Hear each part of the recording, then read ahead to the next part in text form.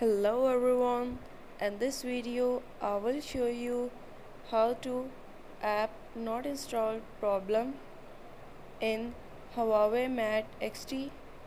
before starting this video please subscribe for more videos and watch complete video